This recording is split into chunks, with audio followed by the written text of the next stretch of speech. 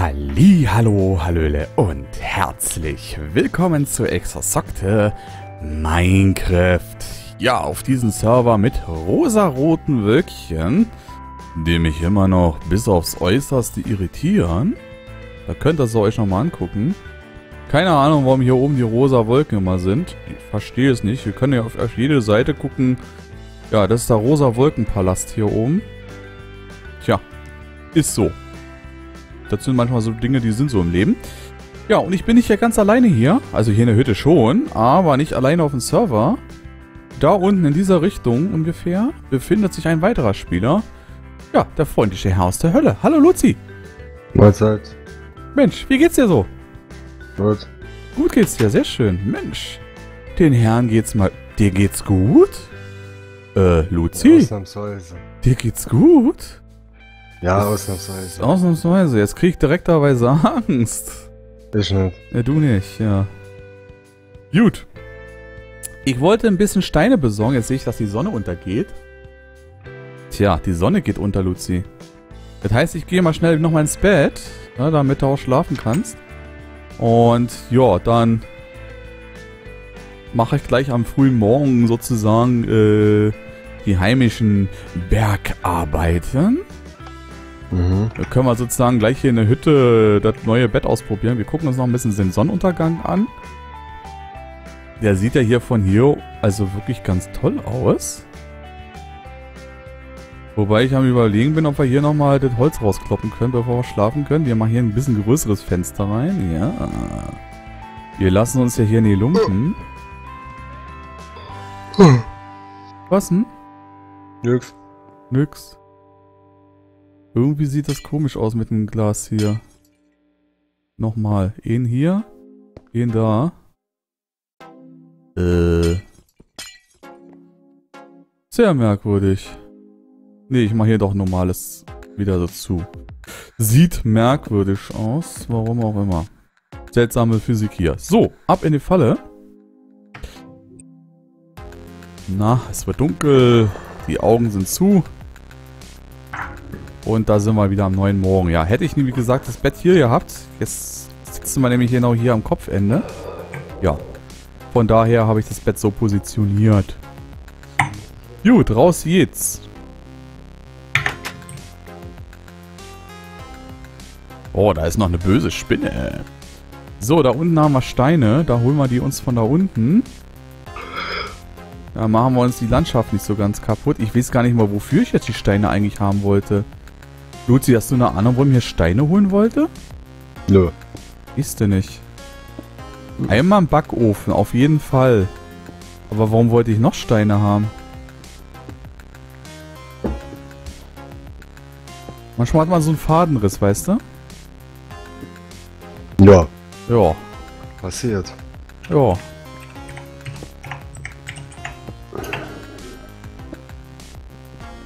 Naja, hole ich mir ein paar Steine. Kann man ja immer gebrauchen. Hier ein paar Steine hier so. Die haben wir uns früher immer geholt. Wenn wir nicht wussten, was wir machen sollen, haben wir uns mal Steine geholt. Und weil, weil wir immer noch nicht wussten, dann haben wir uns wieder Steine geholt. Und weil wir dann immer noch nicht wussten, was wir da machen, haben wir uns Steine geholt. Und weil wir dann immer noch nicht wussten, was wir machen sollten, haben wir nochmal von vorne angefangen. So. So, das passt, das passt, das passt. Ähm, dann machen wir uns einmal einen Ofen. Ofen geht immer. Ofen. Ofen, Ofen haben wir. Dann wollen wir hier mal die Workbench abbauen, weil hier in der Ecke kommt die nicht hin. Die kommt hier vorne hin. Wir machen hier so eine schöne Arbeitsseite äh, hier. Das heißt also, wir holen uns einmal das weg, das weg, das weg. Wir brauchen den Ofen einmal. Wir brauchen einmal die Workbench. Da haben wir sie auch schon. Also einmal hier der Ofen. Dann kommt die Workbench äh, hier hin. Und dazwischen kommt eine Arbeitsplatte. Hui, Arbeitsplatte. Und danach kommt hier nochmal eine Tisch hin. Da haben wir einmal das hier. Und dann brauchen wir etwas, was ich suche und nicht finde. Doch, da haben wir es. Ja, ich würde das schon sagen. So vergesslich bin ich dann ja auch wieder nicht. So, passt, passt, passt. Jo, dann machen wir hier eine schöne gemütliche Ecke. Ich muss mal überlegen, wie wir die Ecke machen. Wie machen wir die? Oh, hier unter der Treppe hier, so ganz gemütlich. Hier so. Hui. Ja, das ist so die Fletzecke. Da kann man hier flezen und dann so rausgucken. Oh, das ist so gemütlich geworden jetzt hier mittlerweile. So, da ziehen wir nochmal so einen Block rein. Machen wir so einen kompletten Holzblock. Genau.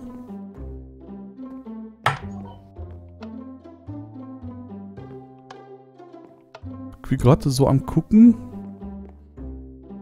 Aber hier könnte man theoretischerweise noch eine Kiste hinstellen. Damit man immer so ein bisschen Material hier in der Hütte auch abladen kann. Ne? Schauen wir mal. Äh, Hütte, Hütte, Hüttenholz. Hast du etwas Holz vor der Hütten? Jo. So. Das passt. Eins, zwei Truhen. So, das wird hier aufgesammelt. Passt schon. Danke sehr. Und die kommt hier. Ja, wo machen wir die hin? Machen wir die da hin oder machen wir die da hin? Dann haben wir da frei. Machen die Truhe hier hin. Jo, dann können wir hier schon mal so was reinladen. Ein paar Steinäxte auf jeden Fall. Hier machen wir mal die Hälfte an Brot rein. Da haben wir immer noch ein bisschen Brot da. Dann machen wir... Jo, was machen wir noch? Keine Ahnung.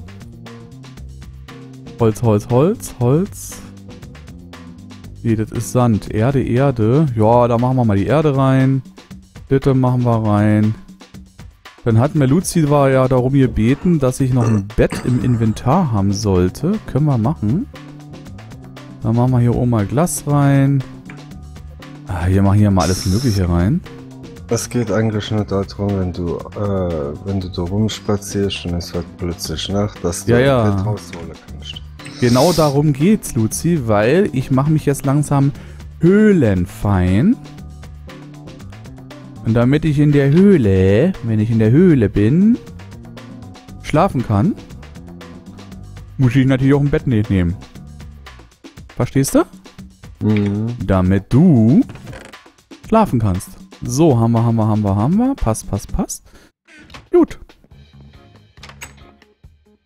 Schauen wir uns mal die Hütte nochmal von außen an. Wir haben die ja noch gar nicht von außen betrachtet. Ja, so sieht's aus. Ja. Jo. Jetzt bräuchte, jetzt bräuchte ich natürlich irgendwie noch einen anderen hohen Punkt. Ja, da ist das Dach, da ist der kleine Schornstein drauf. Jo, kann man so machen, ne? Einmal eine Hütte oben auf dem Berg. Wie hatte Luzi den genannt? Mount Almdudler. Ja, hab ja damals Luzi gefragt, fällt dir ein lustiger Name für den Berg ein? Da hat er gesagt Almdudler. Und deshalb ist das ja auch der Mount Almdudler. Da bin ich auch direkterweise dran geblieben bei den Namen, weil ich hab gedacht, ja, der Name passt für einen Berg. Das haut schon hin. Ja, siehst du, Luzi, ich mal gemerkt, wa? Mount Almdudler. Mein lieber Mann. Ja. Hier werden Vorschläge und Anrege noch, äh, Anregungen noch richtig wahrgenommen, ja? War das? Ja, da sollte sich die Regierung mal, äh, ja, mal ein Beispiel dran nehmen, so Anregungen und so weiter vom Volk anzunehmen, ja? Sozusagen, ja? Von was für ein Volk? Äh, von dem Volk, das hier in diesem Lande lebt. Das wo jeden Tag Bildzeitung sagen. Du Scheiße. oh. Meinst du da? Das, äh, kannst ja das Land, sag ich mal, gleich in der in der Abgrund schmeißen. In der Abgrund schmeißen. Meinst du, ist das so schlimm? Äh, ich rede gerade von der Bildzeitung. Ja, ja. Ja. äh, erübrigt sich nicht die Frage. Weiß ich nicht. Kenn mich da nicht aus. Ich bin doch neu hier. Mm, Ja. Gerade du. äh, natürlich. Einer muss ja neu sein, ne? So, Luzi, weißt du, was ich jetzt gleich vorhabe? Nö. Ich werde mich vorbereiten für eine Höhlentour. Ja, deshalb habe ich auch das Bett gerade gebaut. Weil ich habe hin und wieder mal so eine Frage bekommen, ja, könntest du mal wieder mal so eine Höhlentour machen? Ja, könnte ich machen, ich gesagt. Ich weiß noch nicht genau wann. Jetzt ist, wie gesagt, die Hütte bei Mount Almdudler fertig geworden und deshalb äh, können wir mal uns hier für eine Höhentour entscheiden. Ich muss mal schauen, wie viel wir haben. Wir haben jede Menge Eisenbarren. Ja, Kohle haben wir da drinne. Hier haben wir nochmal Eisenbarren, passt schon. Dann brauche ich hier nochmal Eisenbarren. Wie bin ich denn überhaupt aktuell ausgestattet? Ah, ich habe eine Eisenrüstung an. Ja, jetzt brauche ich nochmal Holz.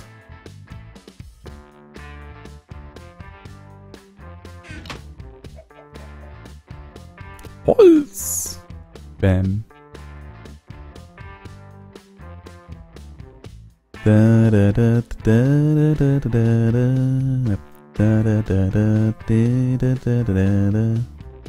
17 Spitzhacken. Da geht was, war Luzi mit siebsten Spitzhacken? Das ist schon mal ein Anfang. Das ist schon mal ein Anfang, ja? 17 Spitzhacken, Luzi, da geht was. So, jetzt muss ich überlegen, habe ich alles? Ich habe Spitzhacken, ich habe Bett dabei, ich habe knapp 120 Fackeln, aber nur knapp. Habe ich noch ein paar Fackeln hier? Nö, müssen reichen.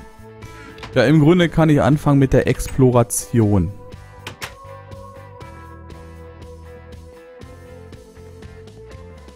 Die Frage ist, in welcher Richtung exploriere ich? Hast du eine Idee? Nö. Nö, das ist sehr hilfreich. Gut, ich würde mal sagen, ich gehe mal einfach hier runter.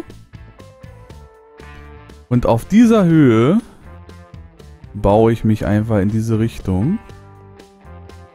Schauen wir mal, ob uns hier dieses Höhlensystem schon mal ein bisschen den Weg vorgibt oder nicht. Okay. Ja, gehen wir mal da lang. Oh, Eisen. okay, fängt schon gut an. Ja, würde ich mal sagen, ist das schon mal der richtige Weg. Weil überall, wo ich was finde, ist schon mal ein guter Weg. So, und dann geht's hier direkterweise weiter. Jetzt äh, kommt der monotone Abbau von stumpfsinnigen Gestein, Geröll und anderen Ablagerungen, die seit Millionen von Jahren beziehungsweise einigen Wochen, wo der Server generiert wurde, erschaffen wurde. Aber in The Life äh, ist das eher beeindruckender, wa? wie lange solche Gesteinsablagerungen existieren. Ne? Luzi, hast du dich mal schon mal ein bisschen so mit der Mineralogie äh, beschäftigt? Nee. Nee? Warum soll ich mich damit beschäftigen? Einfach nur aus Interesse halber. Ist nicht mein Interessensgebiet. Ist nicht dein Interessensgebiet. Wow. Muss man ja auch nicht. Ist ja das Schöne bei Interessen, da kann man ja mal eigene entwickeln. So. Schlafen, bitte. Schlafen bitte, warte mal, da muss ich das Bett aufbauen. Bett aufgebaut und ich schlafe. Unten in der Höhle. Oh. So, und dann bin ich schon wieder wach. Das ist praktisch, wa? Ja, das frage ich dich, ob das für dich praktisch ist. Naja, für mich ist es egal, das funktioniert, aber für dich ist es praktisch, dass ich jetzt schlafen kann, auch wenn ich tief in der Höhle bin.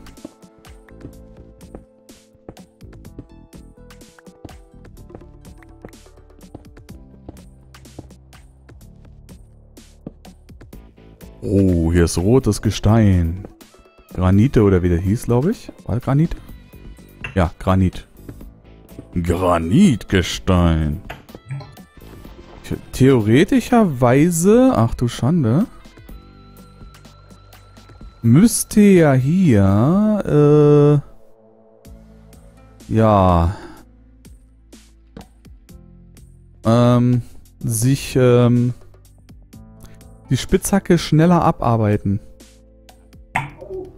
Bei Granitgestein, weißt du? Weil Granit ist doch eigentlich ziemlich fest, oder? Müsste. Ja, ja. Man sagt ja auch hart wie Granit oder so. Ja, das ist hart wie Granit.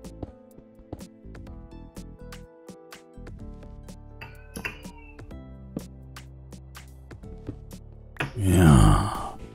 Hart wie Granit. Aber das ist meiner Spitzhacke irgendwie völlig egal.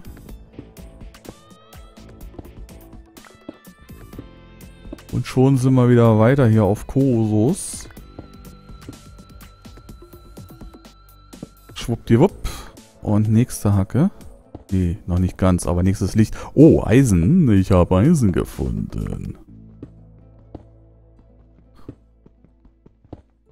Eisen ist ja als solches erstmal nicht verkehrt. Okay, sehr schön. Passt, passt, passt, passt, passt. Okay. Und schon wieder geht's weiter hier unten in der Höhle. Mal sehen, vielleicht finden wir wieder ein tolles Höhlensystem oder so. Ich habe eher das Gefühl, dass ich gleich wieder Wasser finde, aber anscheinend nicht. Machen wir hier mal ein bisschen Licht, damit wir hier sehen, was wir hier anstellen.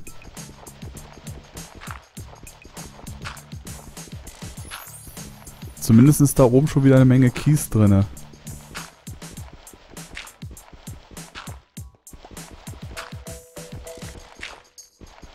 Boah, Kies ohne Ende. Hey, du hast da Kohle übersehen. Nö, habe ich nicht, so.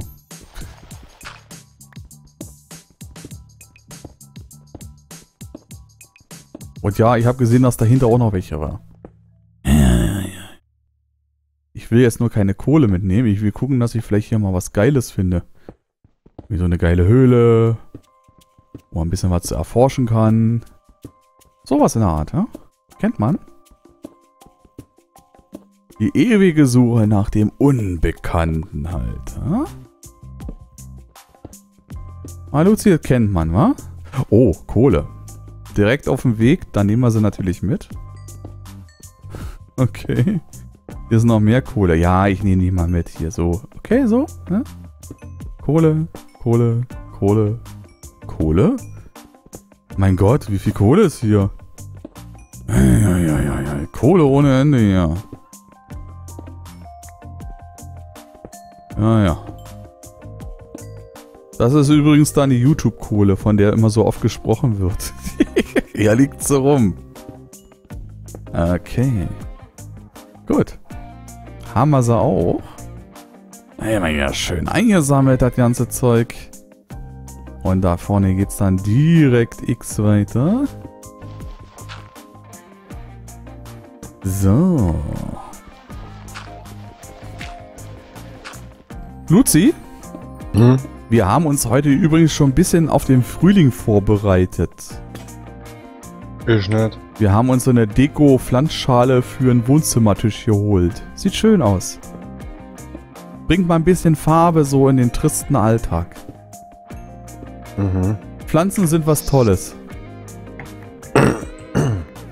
Weißt du das? Ja. Ne? Pflanzen Ja, sind wirklich was Tolles.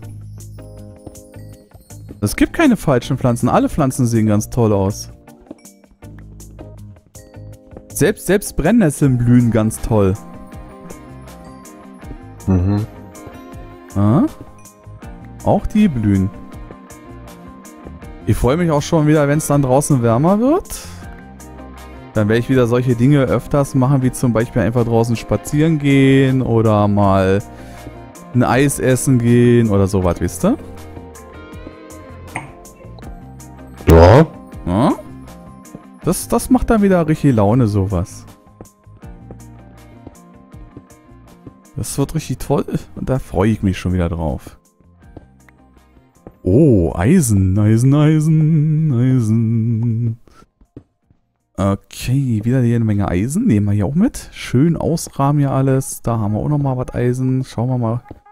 Da ist, da ist kein Eisen. Und schon wieder geht's weiter. Lassen wir uns gar nicht beirren hier. Alter, Alter. Hops, falsches Werkzeug. Und ich sehe gerade, dass wir hier aufnahmenschweres folgendes Ende haben. Deshalb machen wir erstmal hier, hoppala, Ende. Ich mache mal Licht hier hin. Und wir sehen uns dann in der nächsten Folge wieder. Und dann schauen wir mal, ob wir vielleicht mal in eine andere Richtung gehen oder so lang. Und schauen, ob wir eine Höhle finden. Also, liebe Leute da draußen, ciao, ciao, cheerio und bis morgen. Tschö. Tschüss.